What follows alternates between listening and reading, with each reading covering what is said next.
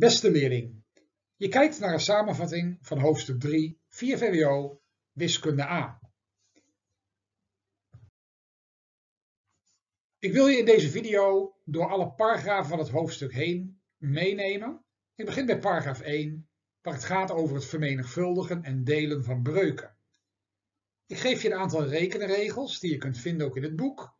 En daarbij geef ik ook direct een aantal voorbeelden. De eerste rekenregel die je ziet is deze. Als je twee breuken hebt die echt van elkaar verschillen, dus a gedeeld door b keer c gedeeld door d, dan doe je teller keer teller, dus a keer c, en noemer keer noemer, dus b keer d. Je zou aan dit voorbeeld kunnen denken, a is dan 3x plus 2, je deelt door 5x min 4, en je vermenigvuldigt met 2x min 3 gedeeld door 4x plus 7. En dan krijg je wat er achter de is staat.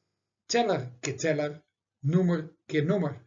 Vervolgens moet je de haakjes uitwerken. Dat heb ik hier voor jullie niet gedaan. Dus je weet dat 3x keer 2x is 6x kwadraat.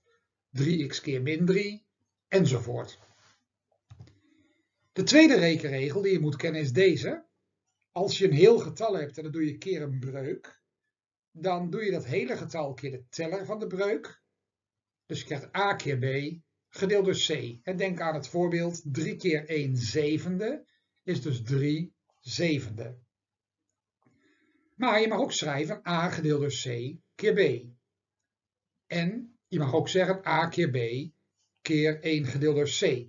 Nou, lijkt wat cryptisch, maar dit voorbeeld maakt het wel duidelijk. Als je namelijk 2x min 3 hebt, wat je vermenigvuldigt met 7x min 2, gedeeld door 4x min 6, dan krijg je dus volgens de eerste stap 2x min 3 keer 7x min 2, gedeeld door 4x min 6. Nu ga ik door naar stap 2, waarbij ik het volgende isje pak, a gedeeld door c keer b. Ik schuif dus de noemer 4x min 6 onder 2x min 3. En dan krijg je dus 2x min 3 gedeeld door 4x min 6 keer 7x min 2. Als je nu goed kijkt, zie je dat 2x min 3 precies de helft is van 4x min 6. Dus je kunt vereenvoudigen 1 gedeeld door 2. Je kunt onderin een 2 buiten haakjes halen. Dan krijg je dus in plaats van 4x min 6 2 keer 2x min 3. Nou, dan kun je 2x min 3 tegen elkaar wegstrepen. Dus je houdt over 1 gedeeld door 2 keer 7x min 2. Dus je kunt deze som redelijk makkelijk uit je hoofd oplossen. Dat is het voordeel van deze manier.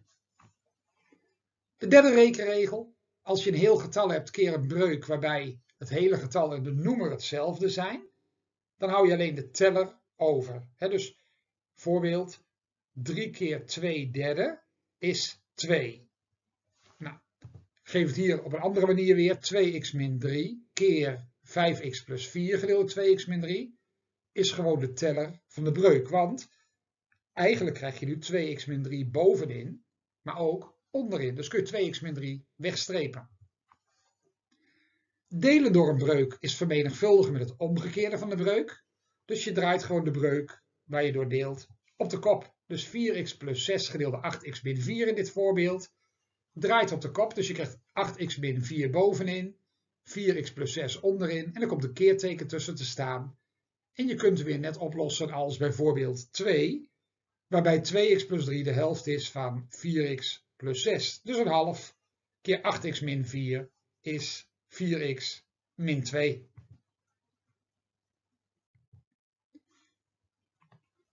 Er zijn ook rekenregels voor het optellen en aftrekken van breuken. En deze rekenregel is eigenlijk dat, dat je twee breuken met dezelfde noemer kunt optellen. Dus derden kun je optellen, zevenden kun je optellen. Dus 1 zevende plus 3 zevende is 4 zevende, bijvoorbeeld. Nou, ik laat het hier zien weer met wat abstractere dingen. Nu is de noemer 4x, dus je krijgt 1 gedeeld door 4x plus 3 gedeeld door 4x is 4 gedeeld door 4x en die kun je vereenvoudigen door de 4 weg te strepen. Dus je houdt over 1 gedeelde x. Als je a gedeelde b min c gedeelde b doet, dan haal je ze van elkaar af. Nou, dat is vrij logisch, volgt eigenlijk uit regel 1. Nu een minnetje ertussen, dus ik had 1 min 3 is min 2. Gedeeld door 4x, de noemer blijft hetzelfde. En nu kun je vereenvoudigen, teller en noemer kun je allebei delen door 2. Dus je houdt over min 1 gedeeld door 2x. Minnetje staat nu voor de breuk. Twee verschillende breuken moet je eerst gelijknamig maken. Dus als je een derde en vijfde hebt, dan maak je er bijvoorbeeld vijftiende van, dus 3 keer 5. En dus je gaat hier a keer de noemer doen van de tweede breuk en c keer de noemer van de eerste breuk. Dus je krijgt hier bijvoorbeeld 1 gedeeld door 4x en 3 gedeeld door 5i. Dan krijg je als nieuwe noemer 4x keer 5i. Bovenin doe je de eerste keer 5i en die 3, de tweede breuk dus, doe je keer 4x. En dan kom je dus uit op 5i plus 12x gedeeld door 20 xi. Dit voorbeeld, die heb ik ook even bijgezet, want die noemers zijn wel verschillend, maar die hebben ook heel veel gemeenschappelijk. Want 4x en 8x, je kunt ze vermenigvuldigen. Zoals in het voorbeeld, dan krijg je 32x kwadraat. Onderin, naar bovenin krijg je 20x. He, dus 1 keer 8x en 3 keer 4x. En die kun je vereenvoudigen tot 5 gedeelde 8x. En de x'en streep je dan weg en je deelt boven en onder door 4. Maar dit kan ook korter, want je kunt ook die eerste breuk gewoon keer 2 doen. Dus dan krijg je 1 keer 2 gedeeld 4x keer 2. En je telt daar de 3 bij op, dus dan kom je op in dat geval 5 gedeelde 8x. Dus die tweede breuk laat je intact en de eerste doe je gewoon keer 2 gedeeld door 2. Nog een rekenregel voor het optellen. Een breuk plus een heel getal. Dan maak je van het hele getal ook een breuk. Dus dan doe je dat keer de noemer gedeeld door de noemer. Dus als voorbeeld, hier ga je het hele getal 3 keer 4x gedeeld door 4x doen. Dus je krijgt 12x plus 1 gedeeld door 4x als oplossing. Het volgende onderdeeltje in paragraaf 1 is verhoudingen. En verhoudingen die zijn altijd gekoppeld aan een verhoudingstabel. In een verhoudingstabel staan de getallen boven en onderin in dezelfde verhouding. Bijvoorbeeld hier 1 en 6,5. 2, daar hoort 13 bij. dat is twee keer zoveel uren werk, geeft ook twee keer zoveel verdiensten. Vijf uren werk geeft vijf keer zoveel verdiensten als één uur, enzovoort. De verhoudingen is eigenlijk 1 gedeeld door 6,5, 2 gedeeld door 13, 5 gedeeld door 32,5 enzovoort. Je zou kunnen zeggen 1 staat tot 6,5, als 2 staat tot 13, als 5 staat tot 32,5, als 10 staat tot 65. Je kunt ook onderkant delen door bovenkant en dan komt er steeds 6,5 uit. De kleinste verhouding in hele getallen is 2 staat tot 13. Dus dat is dan de verhouding waar we dan over spreken hier. want we zetten het graag in hele getallen neer. Voorbeeld, wil je 600 euro verdelen met drie personen, A, B en C. A krijgt 2 delen, B krijgt 5 delen en C krijgt 8 delen. Dan doe je dat als volgt. In totaal heb ik te maken met 15 delen. 2 plus 5 plus 8. Eén deel is 600 gedeeld door die 15 is dus 40 euro. Dus persoon A krijgt twee keer een deel van 40 euro, dus 80 euro. B krijgt vijf delen van 40 euro, dus 200. En C krijgt acht delen van 40 euro, is dus 320 euro.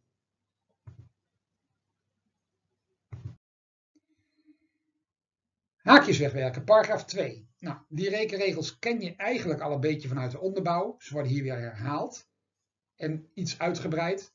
Als je A keer B plus C doet, dan is dat A keer de eerste plus A keer de tweede. Dus AB plus AC. Dit voorbeeld 3 keer 2x plus 3 keer min 4.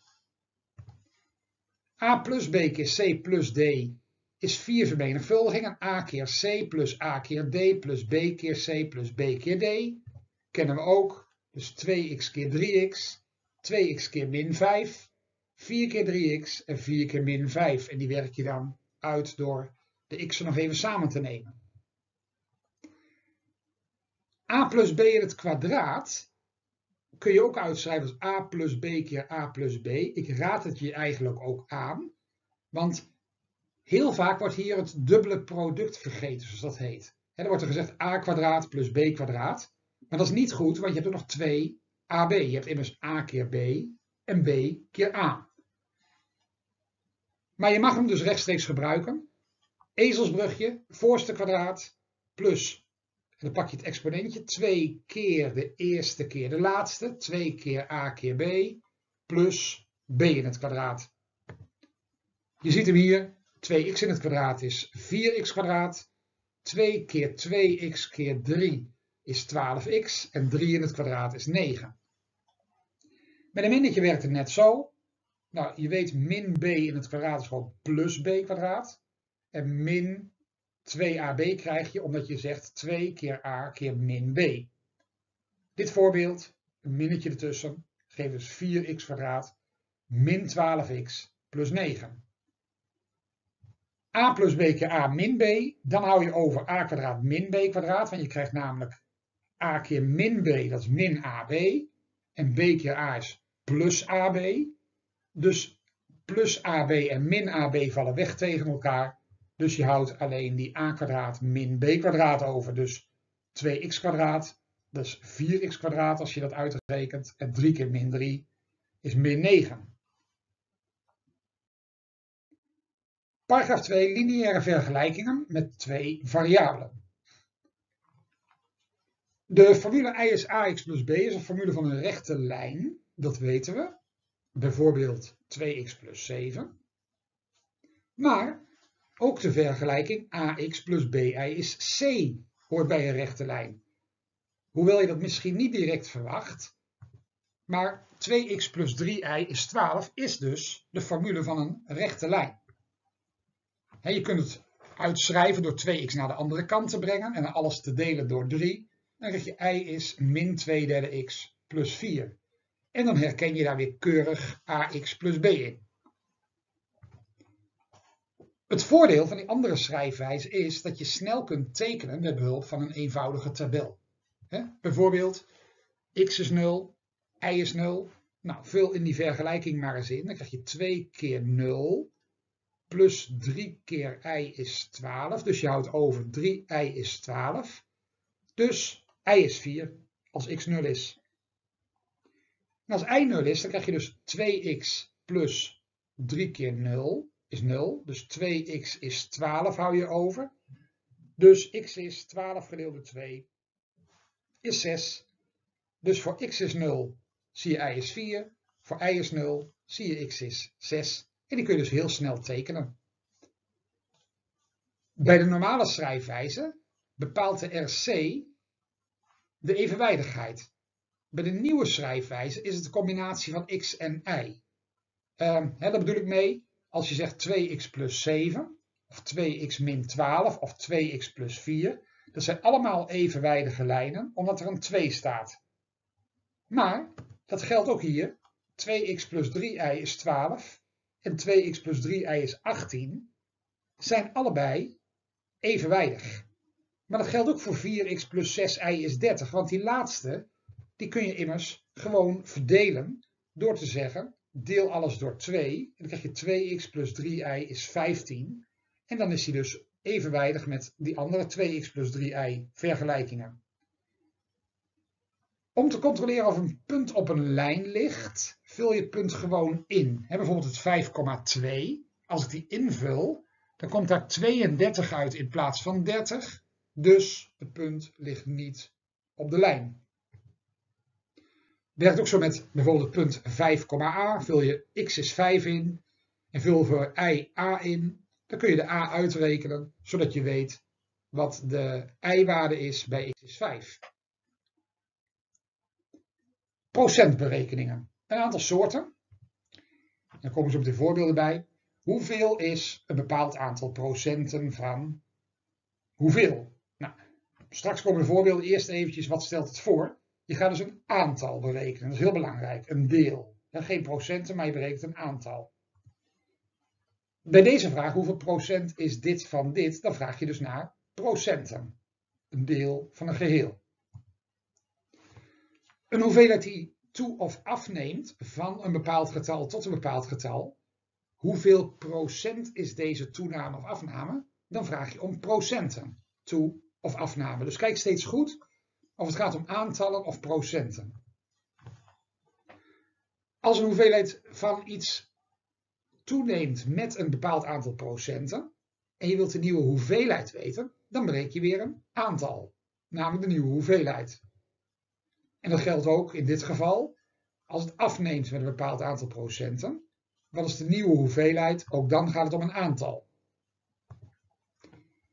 Als een hoeveelheid toeneemt met een aantal procenten tot een bepaald getal en je wilt de oorspronkelijke hoeveelheid weten, dan wil je ook weer een aantal hebben, namelijk het oude aantal. En als je zegt een hoeveelheid is zoveel en dat is zoveel procent van het totaal, en je wilt het totaal weten, ook dan vraag je om een aantal, namelijk het totaal. Een paar voorbeelden. Hoeveel is 5% van 120? 0,05 keer 120 is dus 6. Hoeveel procent, vraag 2, is 12 van 48?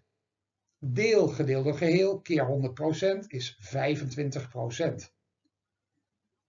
Een hoeveelheid neemt af van 1200 tot 850. Hoeveel procent is deze afname? Nou, toename, afname in procenten moet je altijd denken aan nieuw min oud gedeelde oud. Dus nieuw 850 min oud 1200 gedeelde oud 1200 keer 100 kom je op min 29,2 procent. Dus de afname is 29,2 procent. En een hoeveelheid van 500 die toenemen 13,2%. Dan zeg je dus 500 keer 1,132. Dus 113,2 en de komma schuift twee plaatsen terug.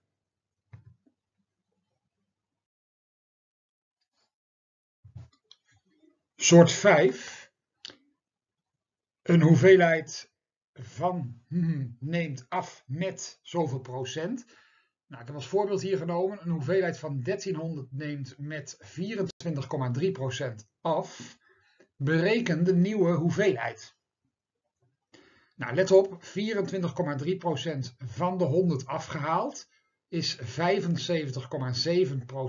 wat je overhoudt. Dus je doet 1300 keer 0,757.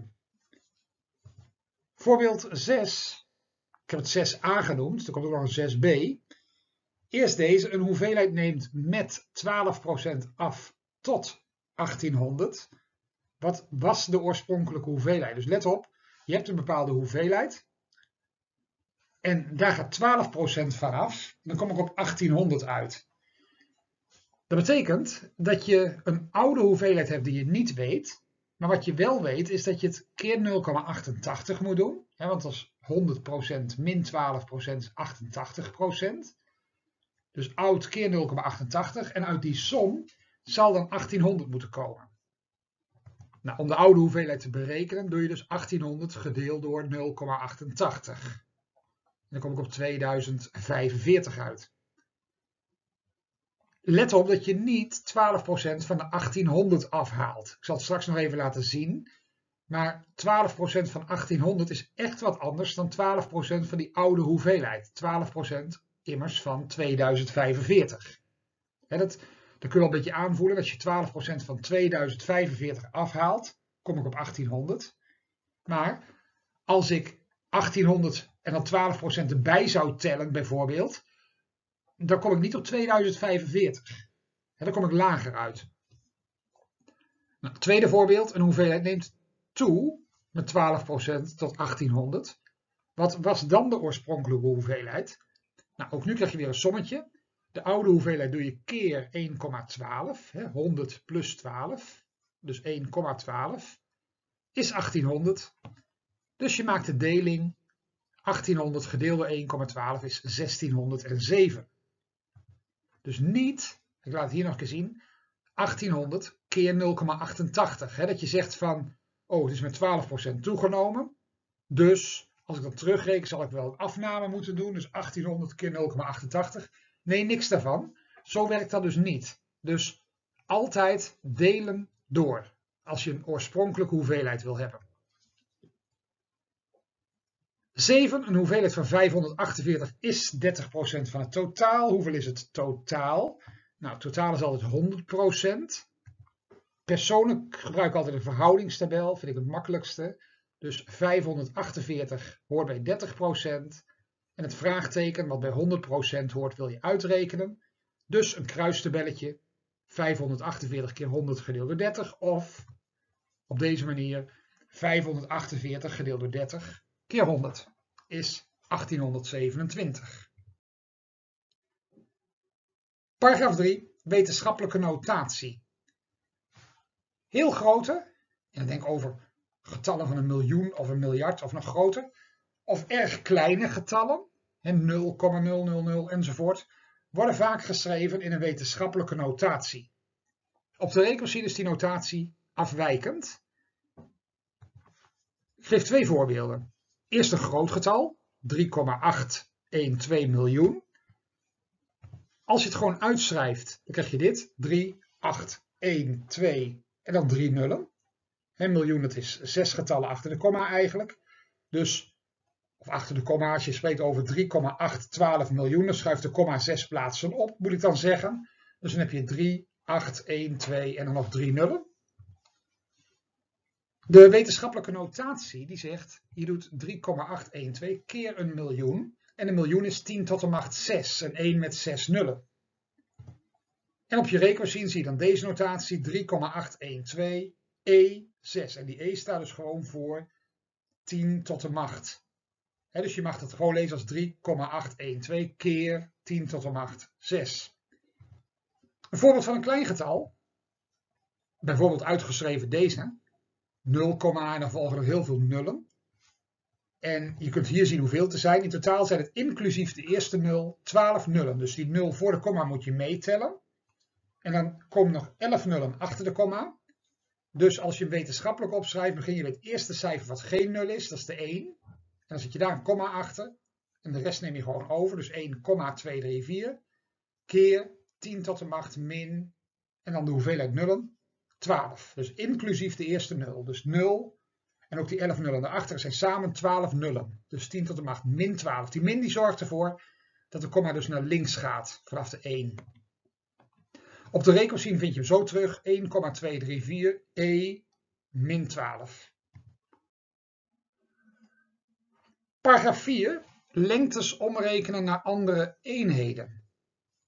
Wanneer je lengtes omrekent naar andere eenheden, maak je gebruik van de onderstaande balk. Ik noem het maar even een balk. Ja, een balk is officieel een ruimtefiguur, maar ik teken dit gewoon even als een lint. En het wordt in de volksmond wel balk genoemd. Kilometer, hectometer, decameter, meter, decimeter, centimeter, millimeter. Nou, om kilometers om te rekenen naar meters zet je drie stappen op de balk. Kijk maar, één stap, twee, drie. Iedere stap is 10 waard, om maar zo te zeggen. Dus een kilometer is 10 hectometer. En een hectometer is weer 10 decameter. En een decameter is weer 10 meter. Dus van kilometer naar meter doe je eigenlijk keer 10, keer 10, keer 10. Dus 5 kilometer is 5 keer 10 keer 10 keer 10. Oftewel 5 keer 10 tot de macht 3, zoals je net hebt gezien in de vorige dia. Wetenschappelijke notatie. Dus 5000 meter. Ga je nu van millimeters naar decimeters, dan zet je twee stappen. dus 1, 2. En dan, omdat je naar links gaat, moet je delen door 10, want je getal wordt eigenlijk kleiner. want 10 millimeter is 1 centimeter. Nou, 3 millimeter is dan dus 3 keer 10 tot de macht min 2, is 0,03 decimeter. Of wat je ook kunt zeggen is je gaat 3 delen door 10 keer 10. dus je gaat delen door 100 eigenlijk. Twee keer ga je delen door 10, zo kun je het ook zeggen. Dus 3 gedeeld door 100 is 0,03 decimeter. Oppervlaktes werken net zo, alleen staat er overal een tweetje boven. dus heb je het over een oppervlakte, vierkante kilometer, een vierkante hectometer, vierkante decameter enzovoort. Dus als je dan van vierkante kilometers naar vierkante meters wil gaan, zet je opnieuw weer drie stappen op je balk. Maar nu is iedere stap 100 waard. Dus je doet keer 100, keer 100, keer 100. Dus 5 vierkante kilometer is 5 keer 100 keer 100 keer 100. Oftewel 5 keer 100 tot de macht 3. Nou, 100 tot de macht 3, dat zijn 6 nullen. Dus ik heb een 5 met 6 nullen vierkante meter. je kunt ook zeggen, iedere stap is 2 nulletjes. Dus bij de 5 komen 2 nulletjes als je naar hectometer gaat. Dan weer 2 nulletjes voor de decameter. En weer 2 nulletjes voor de meter. Vierkante meters dan, hè? En vierkante decameters. Ga je terug, dus van vierkante millimeter naar vierkante decimeter, zet je opnieuw weer twee stappen. Net als net. Alleen is nu ook iedere stap weer 100 waard, dus je gaat delen door 100. Hè, dus twee nulletjes gaan er vanaf of de komma schuift twee plaatsen naar links, zo zou je het ook kunnen zeggen. Dus 3 vierkante millimeter is 3 keer 100 tot de macht min 2, dus 4 nulletjes voor de 3, inclusief de eerste nul, dus 0, en dan nog 3 nullen, 3 vierkante decimeter. Of 3 gedeeld door 100 kwadraat. Dan ga je dus 3 delen door 10.000 eigenlijk. En 10.000 zijn 4 nullen. Dus 0,0003. Je kunt ook zeggen, twee keer moeten er twee nulletjes van af eigenlijk. Nou, dat kan niet. Dus de komma moet gewoon twee keer twee plaatsen opschuiven, dus vier plaatsen. Dus van achter de 3 schuift hij eerst ervoor en dan nog drie nullen erbij. Dus 0,0003.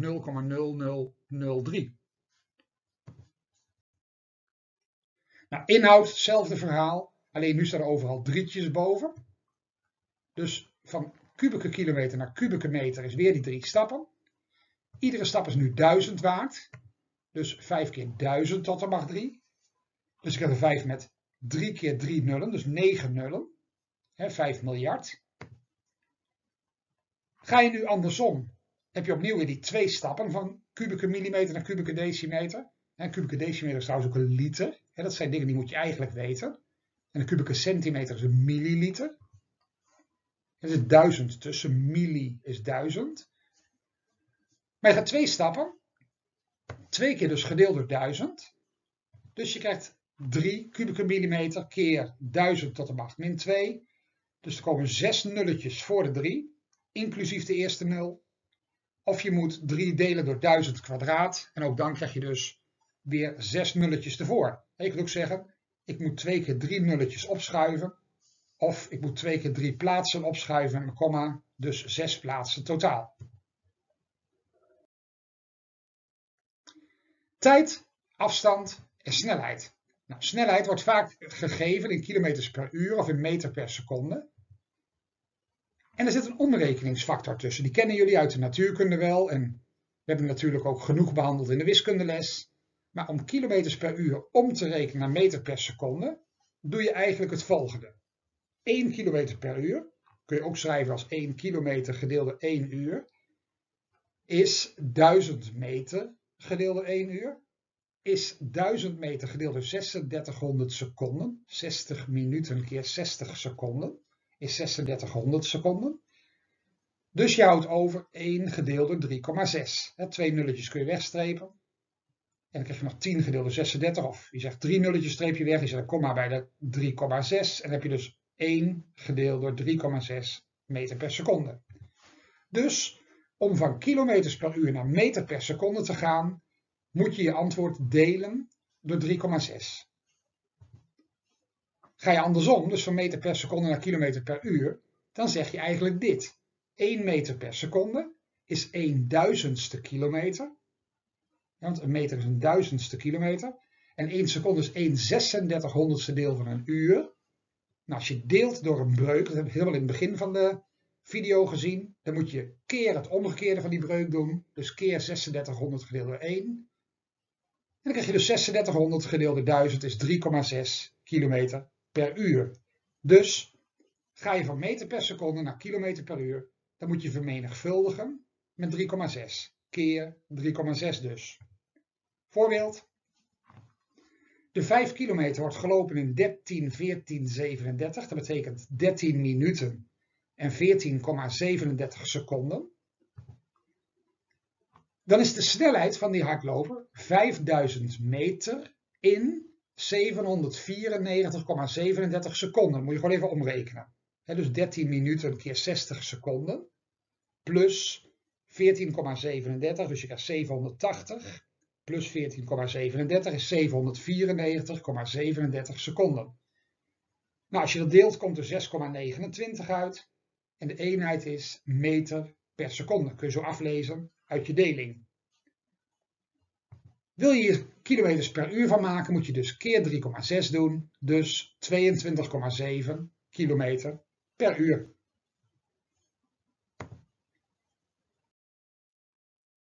Eenheden omzetten.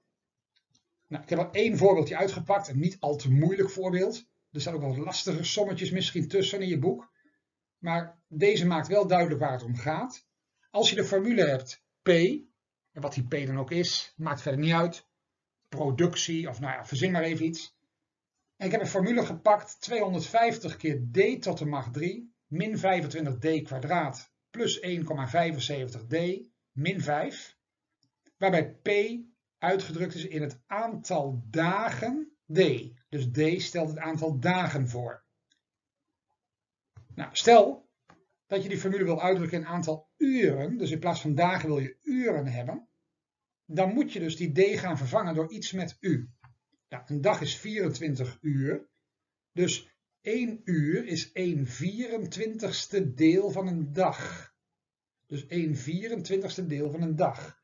Dus om op hetzelfde antwoord uit te komen, moet je eigenlijk 24 uren invullen op de plek van de d, zodat je op hetzelfde antwoord uitkomt als dat je voor de d gewoon 1 invult. Nou, dat betekent dat je de d moet vervangen door 1 24ste u. En dan krijg je dit. want wat ik nu net zei, als ik nu voor de u 24 invul, dan komt er bij het eerste meteen te staan 24 gedeeld door 24 is dus gewoon 1 tot de macht 3. Nou, dat komt er ook uit als je dus voor d één dag invult. Dus 1 24ste u vul je in op de plek van de d. Nou, als ik nu de haakjes wegwerk, krijg je het volgende. 1 24ste tot de macht 3 keer 250 is 0,018. U tot de macht 3. 1 24ste kwadraat keer min 25 is min 0,043. En dan zet je u kwadraat zet je erachter.